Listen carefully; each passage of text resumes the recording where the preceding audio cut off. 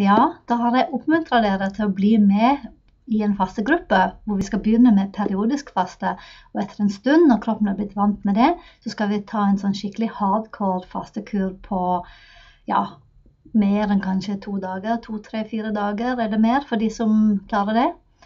Og som en kickstart så skal vi nå se på fordelene med periodisk faste. For hvorfor i all verden skal vi gidde å faste? Hva, hva, får vi igjen for det?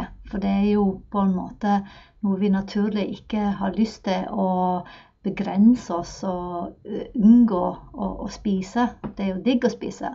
Så hva er fordelene?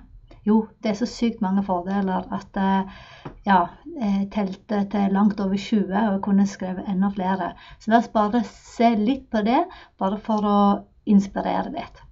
Så fordelene. Jo, du sparer faktisk mye penger. Og du sparer mye tid, både på å handle og lage mat. Det er veldig bra for fordøyelsen, for den får hvile. Han spiser ikke så ofte. Det er veldig godt for immunforsvaret. Det vises med forskning at immunforsvaret blir bedre. Du får bedre helse og antagelig et lengre liv. Eh, det reduserer sultfølelsen, så du er mindre sulten, og du har mindre sug etter mat etter hvert. Du får finere hud, bedre energi, bedre humør, bedre hjernekapasitet. Og det setter i gang noe som heter autofagi. Og det er at kroppen resirkulerer celler og partikler og kvitter seg med patogener og slagstoffer og mikrober.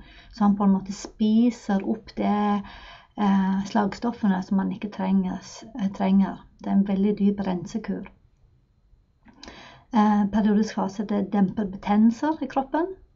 Og det er veldig bra for blodtrykket. Det er bra for hjertet generelt.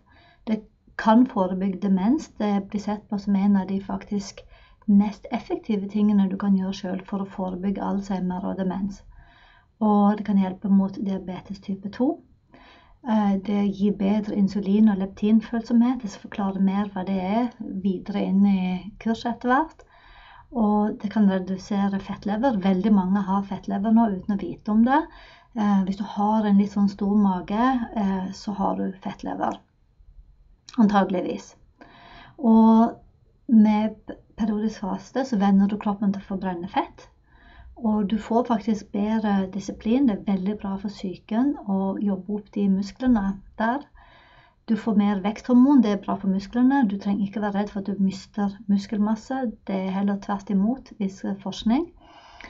Og det er veldig bra for stoffskiftet kan reparere og hjelpe mot for lavt stoffskifte hvis det gjøres riktig. Og det gir veldig mental klarhet. Kan gi mental klarhet. Så det som er også viktig med periodisk faste, det er ikke at vi skal redusere veldig på kalorier og spise mindre og mindre. For hadde vi gjort det, så hadde vi jo på en måte fått lavere og lavere stoffskifte. For det er det som skjer hvis du reduserer kalorier mye over tid. Men vi skal bare spise sjeldnere. Så du skal få de samme kaloriene som det du spiser til vanlig, men istedenfor å få de fordelt over absolutt hele dagen, så får du de bare én gang per dag. Og ved å ta alle kaloriene på én gang per dag, eller i et ganske lite spisevindu, så får du alle disse fordelene vi har lista opp.